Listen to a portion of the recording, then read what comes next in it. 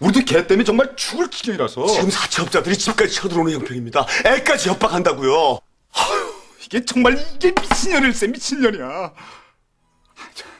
우리가 걔를 감춰주려는 게 아니라요. 걔가 어딘지 정말 우린 몰라요. 예? 아. 이것 좀 보세요. 예? 이게 걔가 다 사고 친 건데 내가 지금 갖고 있다고요. 이게 이게 어릴 적부터 얼굴 하나 판단한 것만 믿고 말이야 겉멋만 들어서 싸돌아다니더니 아니 한 번 결혼에 실패를 했으면 좀 조용히 살아야지 말이야. 결혼도 했었습니까?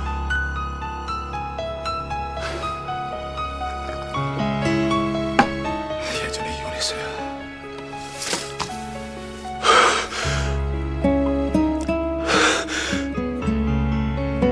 혹시 전 남편을 만나고 있는 건 아니고요? 아니 누가 만나주긴 한답니까? 어림도 없지. 그럼 친구라도 있을 거 아닙니까? 모르세요? 아, 참. 수키라고 동창이 있긴 한데요.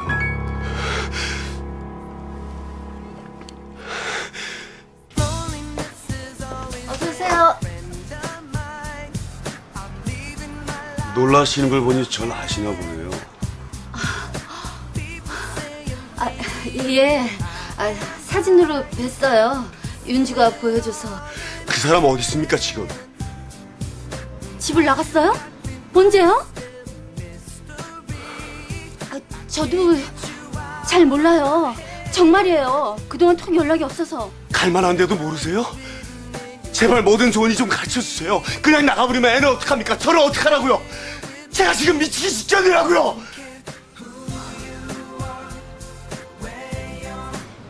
혹시 윤주라고 아시죠? 윤주요?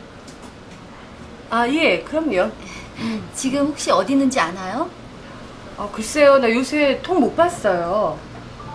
얘 도대체 어디 간 거야 도대체? 무슨 일 있어요? 왜? 고생 많았지?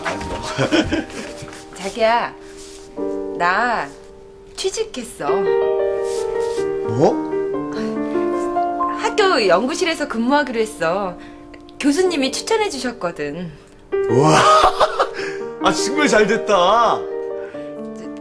근데 여긴 출근도 늦고 다 좋은데 저녁 늦게 맞춰. 저 근처에 알아보니까 저녁 늦게까지 애들 맡아주는 놀이방이 있대. 자기가 퇴근하면서 말이 좀 데리고 와. 아, 그럼 알았어. 어쨌든 너무 잘 됐다. 우와, 아, 우리 마누라 만세. 어, 자기야. 어, 저기 전차 타고 가면 되는데 뭐하러 데리러 와? 마리는? 잠들었어. 학원 잠은 잘안 깨잖아. 자기 근무하는 연구실이 이쪽이야? 어? 어, 어 저기. 어, 그렇구나. 어서 집에 가자. 피곤하지? 어, 빨리 집에 가자. 언제부터 여기서 일했습니까? 오해하지 마세요. 여기서 남자들한테 술 따르는 건 아니고요. 아, 윤주가 원래 칵테일 기술을 좀 배웠었어요. 그래서 여기서 잠시 일한 적이 있어요. 아, 지금 혹시나 해서 와봐. 나랑 살면서 계속 여기서 일했다는 거 아닙니까? 기가 막혀서. 혹시 남자가 있는 거 아닙니까? 아니에요. 그런 건 정말 절대 아니에요. 어떻게 압니까? 수키 씨도 속을 수 있죠. 걔를 그렇게 나쁜 쪽으로만 생각하지 마세요. 걔도 나, 나름대로 많이 괴로워했어요.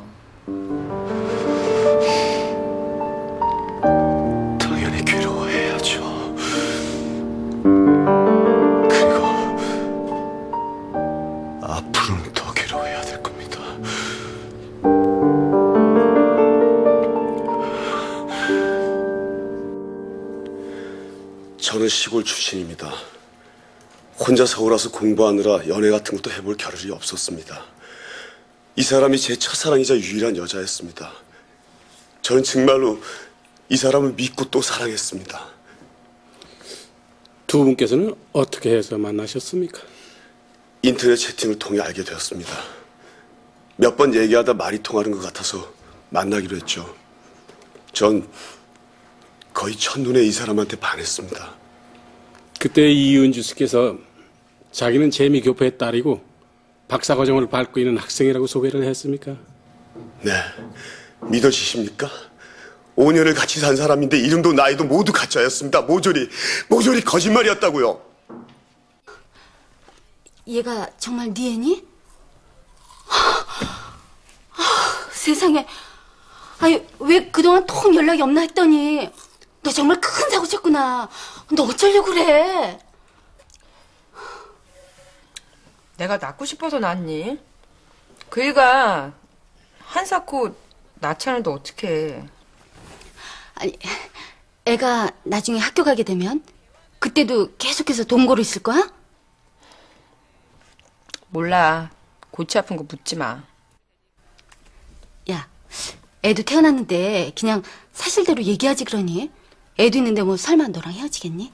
아, 골치 아픈 얘기 하지 말라니까. 지금 얘기하든 나중에 얘기하든 뭐가 달라져. 천천히 생각할래. 나도 모르겠다. 네가 알아서 해. 예. 나 애 낳으니까 더 늙어 보이지 않니? 주름살 때문에 미치겠어. 보톡스나 맞아라. 그거 정말 표시 안 나는 거야? 내가 어떻게 알아? 저희 매장에 여러 상품들이 많은데요. 특히 이 상품 같은 경우는 난꽃을 고유한 여성미와 한방 비법으로 탄생한 퓨전 한방 화장품이거든요. 뭐 주름살 같은 거, 주름살 제거도 괜찮고요. 그럼 저, 이거 세트로 다 주세요. 남편 카드도 되죠?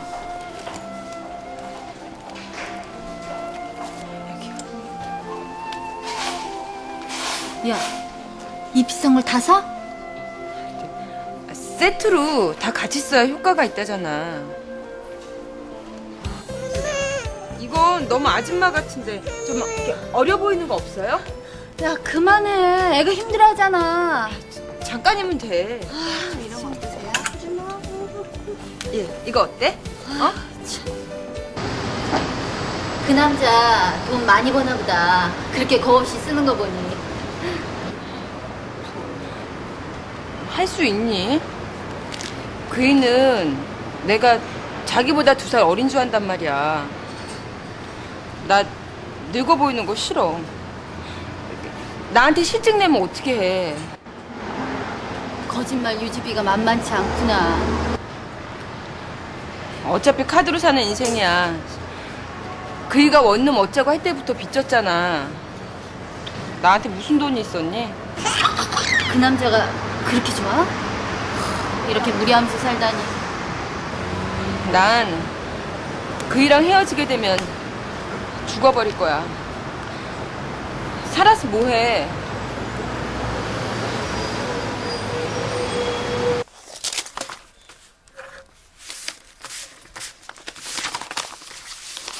나왔어.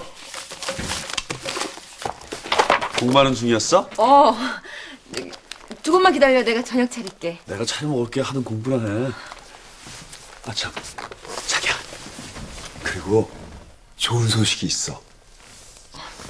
뭐? 우리 이사 가자. 이, 이사? 마을이도 점점 크는데 집이 너무 좁잖아. 은행에 대출 좀 받고, 그리고 우리 적금 넣던 거 있잖아. 어, 적금? 적금 넣고 있다며. 그거 빼고 그러면은 변두리 아파트는 이사 갈 수 있을까? なあ。